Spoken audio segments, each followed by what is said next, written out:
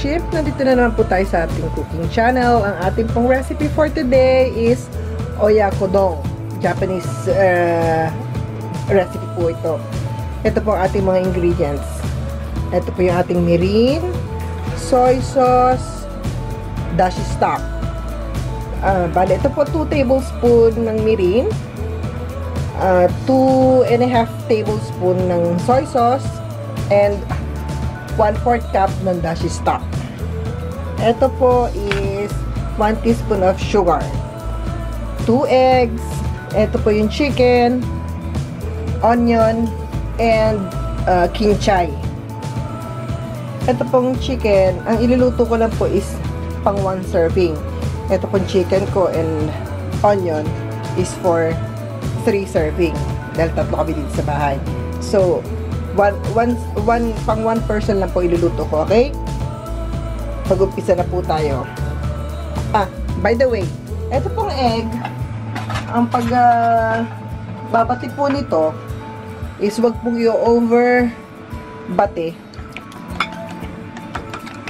Ayan, ganyan lang po. Okay na yan. Para po makapag-create tayo ng malambot and medyo uh, silky na itlog sa ibabaw. Okay? Mag-umpisa na po tayo.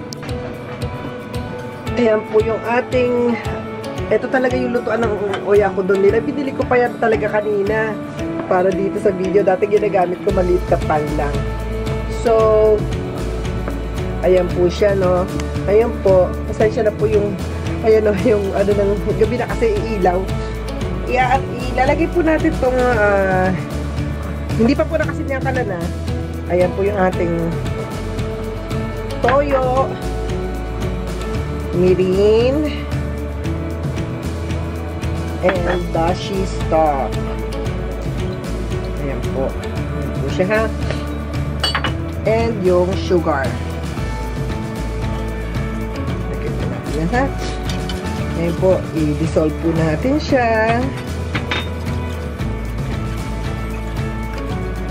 Dissolve natin siya. Then, ilagay po natin yung sarap pa sinisipon. I-dissolve pa natin siya. Napakasimple lang po nito pero masarap po to.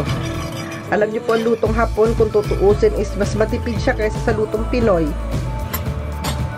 Ayan po, lagyan po natin ng chicken.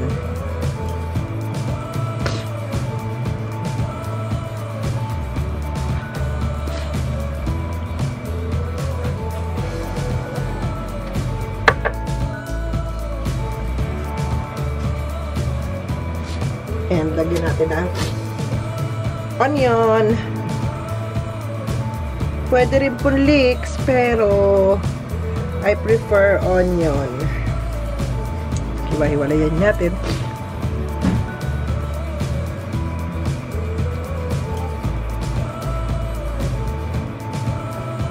And isisindi ko na po ang kalan.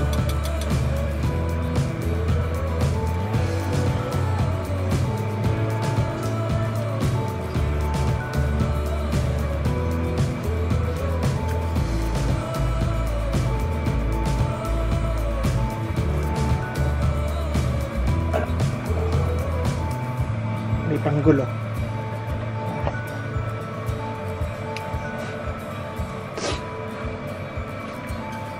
Yan. Kasi hindi na po yung kalan. Takpan po muna natin.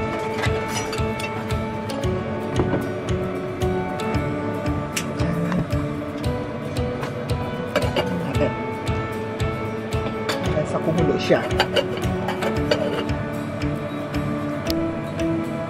Ayan po guys, buksan po natin. Oh my god, ang bango-bango niya. It's so mabango. Ayan pa. Pulan pa natin ng konti.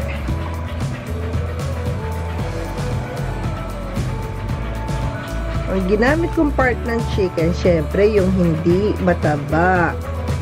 Kasi nagkakaedad na po tayo. iwas-iwas na sa mga taba-taba. Pagka talagang super nag-crave lang, saka lang tayo tumira ng mga may mga taba-taba na yan.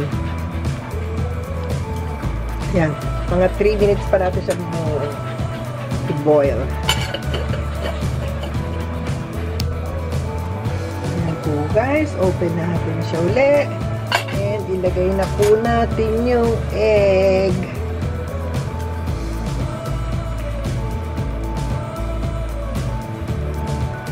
Sagana sa itlog. Diba? Takpan uli. And then wait po natin siya. Ayan, i-check po natin. Ayan siya. O, diba? Gusto nyo makita na malapitan. Ayan po. Ayan o. Kasi yung kamay niya nakaharang. Ilipat natin ng pwesto. Ayan. Ayan siya, diba? Ayan. So, lagyan naman po natin ngayon ng king chai. Then, okay na siya.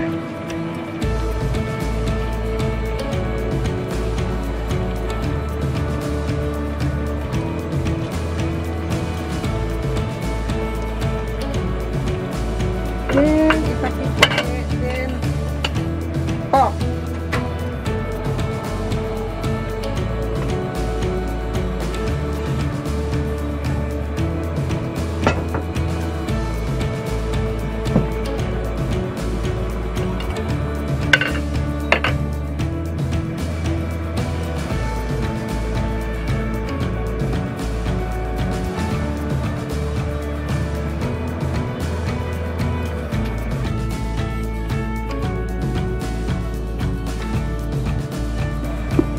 Ayan po siya. Diba? Sasalit po natin siya ngayon. Ito siya dito sa ating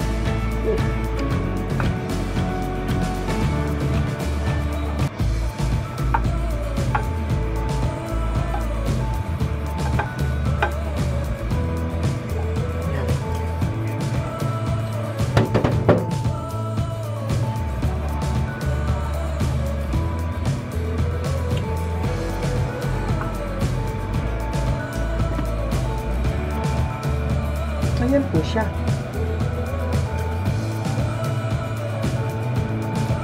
So, yan po ang ating recipe for, for today.